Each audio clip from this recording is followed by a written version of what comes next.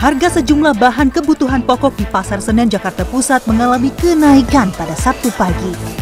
Kenaikan signifikan terjadi pada komoditas cabai, bawang merah, dan sayuran. Harga cabai rawit merah naik dari Rp70.000 menjadi Rp80.000 per kilogram. Adapun harga bawang merah naik dari Rp20.000 menjadi Rp28.000 per kilogram. Menurut seorang pedagang, selain menjelang Natal dan Tahun Baru, kenaikan harga terjadi karena kurangnya stok di pasar.